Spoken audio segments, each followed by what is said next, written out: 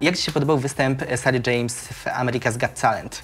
Bardzo mi się podobał. Pięknie zaśpiewała Lovely. Nie ukrywam, że uwielbiam ten numer.